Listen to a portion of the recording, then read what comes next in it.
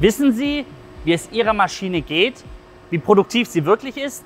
Wir zeigen Ihnen jetzt drei Schritte, wie Sie mit Shopfloor Management mehr Produktivität erzielen und von überall und jederzeit den Status im Blick behalten. Der erste und wichtigste Schritt ist, die Maschine muss ans Netz.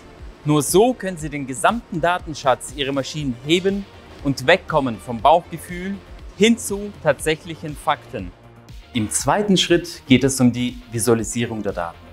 Mit der digitalen Monitoring-Lösung von Trumpf bringen wir Status und Analysen automatisiert auf Ihr Shopfloor-Board. Und das nicht nur für Trumpfmaschinen. Im dritten Schritt müssen wir nun diese Information mit allen Beteiligten bewerten und können daraus Maßnahmen ableiten. Wir besprechen Kennzahlen wie Produktiv- und Standzeiten regelmäßig mit Führungskräften und Kollegen an der Maschine. So können wir konkrete Schritte zur Optimierung des gesamten Prozesses erarbeiten. Das ist der erste Baustein für Ihre Smart Factory. Mit dieser Transparenz schaffen wir es, die Kosten zu senken und langfristig die Produktivität zu steigern.